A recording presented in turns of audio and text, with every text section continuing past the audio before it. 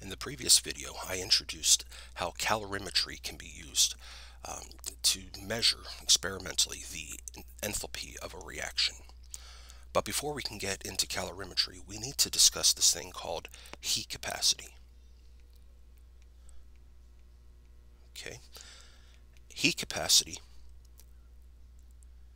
is defined as the amount of heat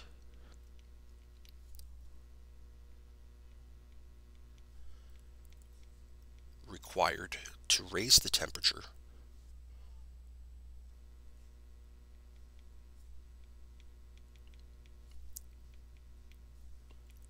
of an object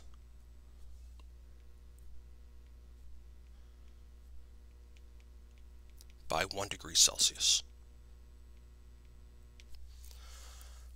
Okay, and heat capacity um, is one of those few cases where uh, using units of Celsius are perfectly acceptable.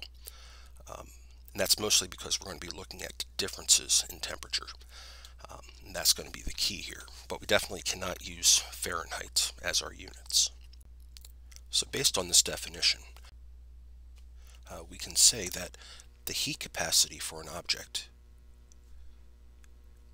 is going to be equal to the amount of heat that is required to cause that object to increase in temperature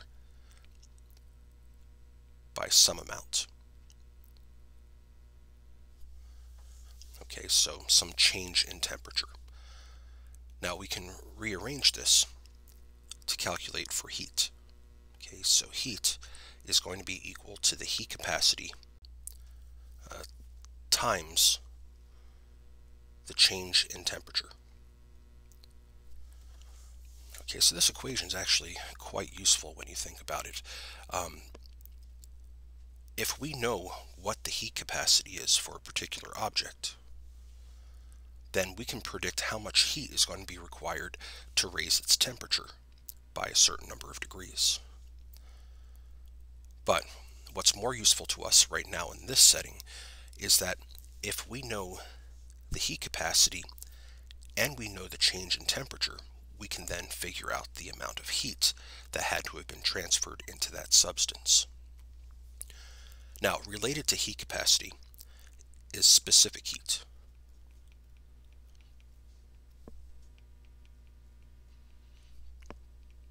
Okay, and whereas heat capacity was a measure of the amount of heat required to raise an entire object by one degree Celsius. Okay, specific heat is kind of uh, based upon different types of substances. Okay, so we say that the specific heat is the amount of heat required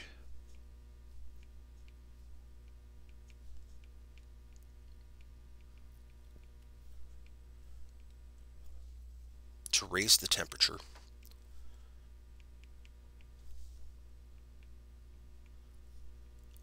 of one gram of a substance by one degree Celsius.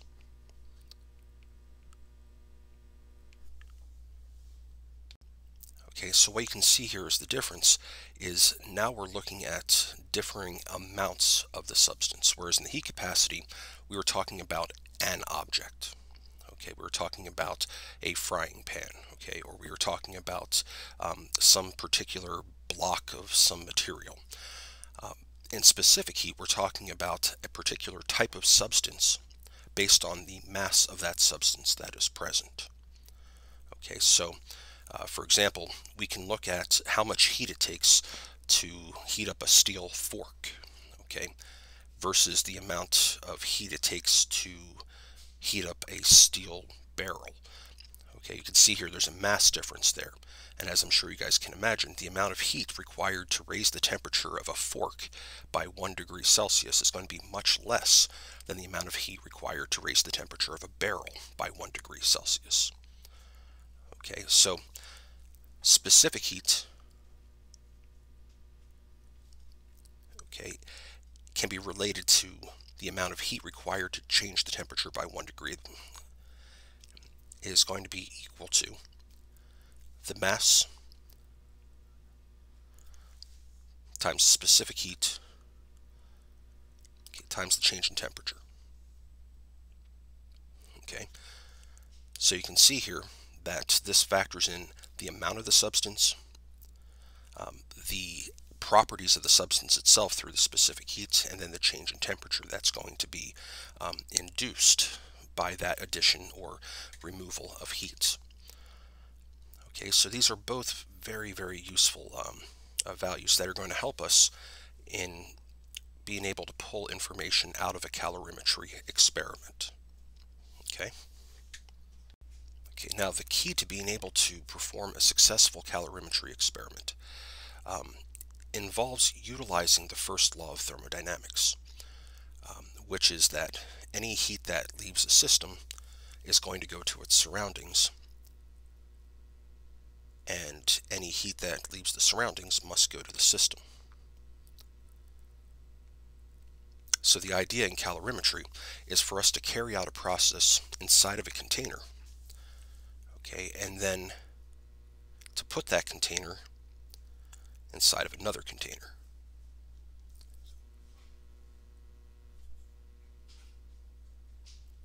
Okay, and we call that region the surroundings. But I said earlier on that the system plus the surroundings equals the entire universe. So how can me putting a small container inside of another container uh, make my job any easier? Well, the key here is to make sure that this larger container is completely isolated from the rest of the universe, or at least as close as we can get it to be. And it turns out we can get pretty close. So if we were to wrap this in some kind of insulation, okay, basically what we're doing is we're creating our own little universe in which we can take measurements. Okay, so then the only heat transfer is going to be either from this container to the outer container or from the outer container to the inner container, and that's it. Okay, so that greatly simplifies our measurements. Okay, but before we get too full of ourselves and start thinking that we created a universe, um, we use slightly different terminology uh, when we're talking about calorimetry. Okay, we have the reaction which is taking place inside that smaller container. Okay, and the larger container that this is taking place in is called the calorimeter. Okay, we'll just abbreviate that as cal for now. Okay, so what this tells us is that since we know that inside this tiny little universe here, that energy cannot be created or destroyed, well, we know that any heat that is changing hands from the reaction plus any heat that's changing hands from the calorimeter is going to have to be equal to zero. Okay, it has to balance out. So in other words, the heat of the reaction, I'm sorry, the heat produced by the reaction um, is going to be equal to the negative of the heat that is um, gained by the calorimeter. Okay, so in the course of every one of these calorimetry experiments, we are going to be numerically determining the amount of heat that is going to the calorimeter in order to calculate the amount of heat that has been released from the reaction. Okay, and then ultimately, to find the enthalpy of the reaction, what we need to do is to take the amount of heat that the reaction uh, produces and divide that by the number of moles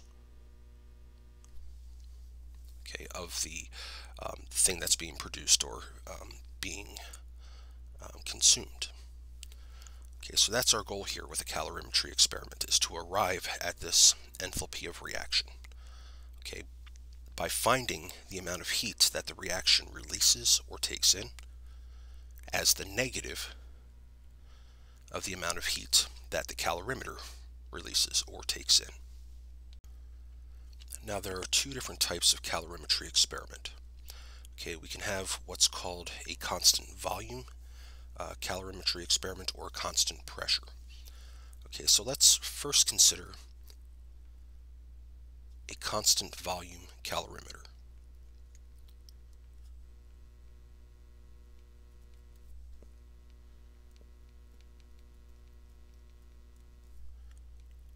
Okay, and I'm going to try to make this as simple of a diagram as possible. Okay, so usually inside of a constant volume calorimeter, we have a reaction taking place, and that reaction is usually based on combustion. Okay, so what we have is we have a vessel, a vessel that we can open up, okay, where we can add a chemical to some container, maybe some kind of like a weigh boat type of thing. Um, and then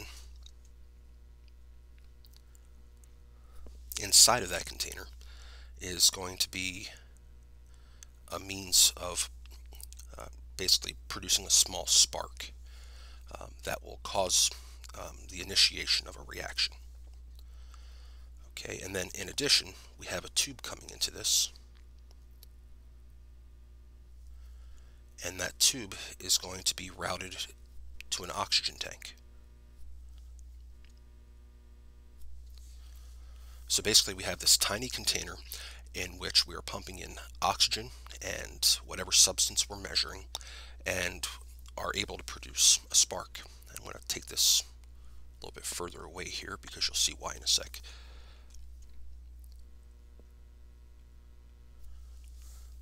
Okay, now this is where the reaction's taking place.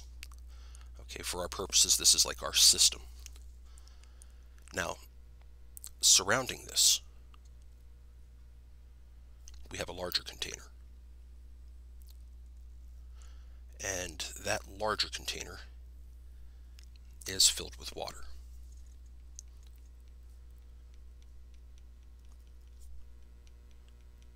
Okay, a known quantity of water. Okay, and it is equipped with a temperature probe.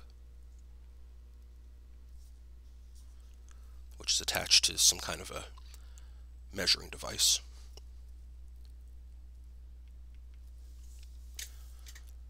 Okay, and once we have everything set up, once we have our sample inside the container, we pump in the oxygen, we hit the spark, okay, and that spark is going to cause a combustion to take place, okay, hopefully to completion.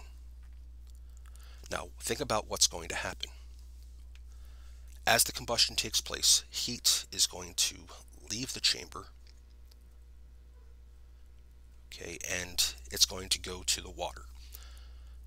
Now, keep in mind that the way that this thing is created, there's little propellers in there that kind of uh, push the water around so that everything is evenly heated. Okay, and then also the outside of the, the calorimeter is going to be insulated. So all of the heat that is being dissipated is going to go into the water and to the components that make up the calorimeter. Okay, now here's how we, or here's the data that we're going to get. Okay, frankly, there's actually one piece of data, and that's going to be the change in the temperature of the calorimeter plus the water. Now, because of all those, um, all those various little uh, components that are present there, and because of all the propellers that are pushing the water around and, and keeping everything evenly heated, um, the change in temperature for the calorimeter and the water should be about the same. Okay.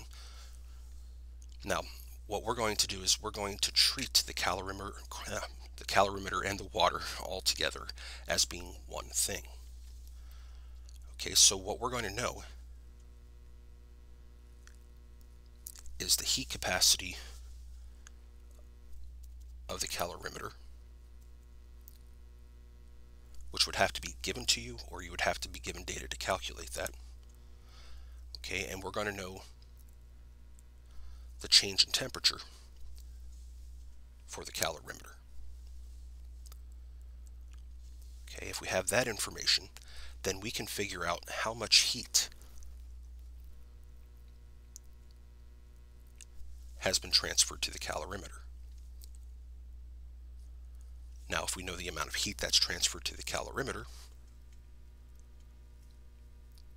we just have to take the negative of that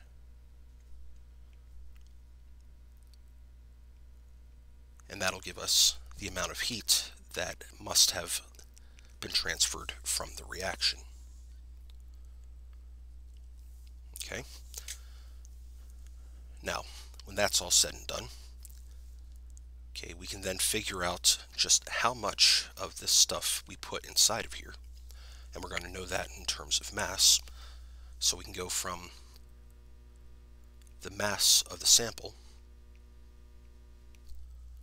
to the number of moles of the sample.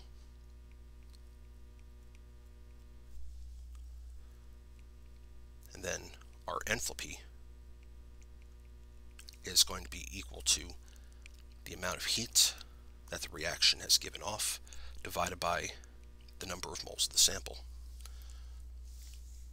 Okay, and that's how we carry out a constant volume calorimeter, or calorimetry experiment. Now, a constant volume calorimeter uh, gets its name because the components that it's made of um, cannot change in volume. Okay, they're made of metal, they don't flex much, um, hopefully they don't change in volume or stretch. Um, so the volume stays the same, but clearly the pressure is not going to. Okay, so the pressure is going to increase inside of that, that sample vessel. Okay, and if you think about it, if we're not careful in how we construct this calorimeter, what we've really created is a bomb. Okay, that's why we call this a bomb calorimeter.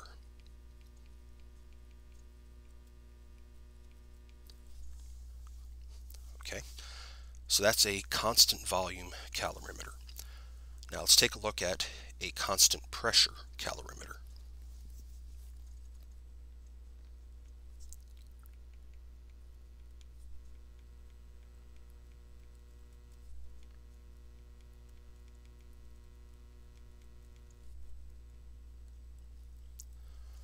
Okay, in constant pressure calorimetry, uh, we have a container that can change volume, okay? And typically these types of experiment, experiments are carried out in a very simple device like a coffee cup, one of those styrofoam coffee cups, because as it turns out these cups are fairly well insulated. And what we do is we add our reactants together in water.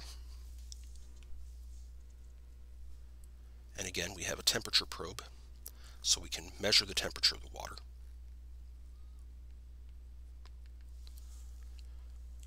Okay, and as the reaction is occurring, the temperature will either go up or go down. Now, if this cup is well insulated enough, that means that, or means that any heat that's released by the reaction, okay, is going to be equal to the negative of the heat gained by the water. So again, we have a situation where um, we know how much water is in the cup. Okay, so we know the mass of the water because we put it in there we know the temperature change for the water because that's what we use the probe for. Okay, and we can look up the heat capacity, I'm sorry, the heat capacity, the, the specific heat of water. Okay, so the amount of heat that the water is going to gain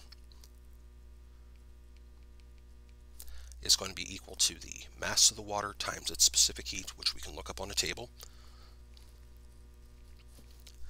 times the change in temperature of the water. So then, all we got to do is take the negative of that to get the heat of the reaction. And if we know the number of moles of the reactants, then we can say that the enthalpy of the reaction, like before, is equal to the heat that the reaction produces okay, per mole of the reactants. Now the reason why we call this constant pressure is because if any heat is derived or if anything tries to vaporize, it's going to be pushing out towards the atmosphere. Okay, and if we're pushing back towards the atmosphere, chances are we're not going to be affecting altitudes high enough that we'll be dealing with lower pressures. So the pressure will stay the same, but the volume can change. Okay, so these are two different types of calorimetry experiment that we can perform. In the next video, we'll look at these in a little bit more detail and see how we can break down the problems that are based on these questions.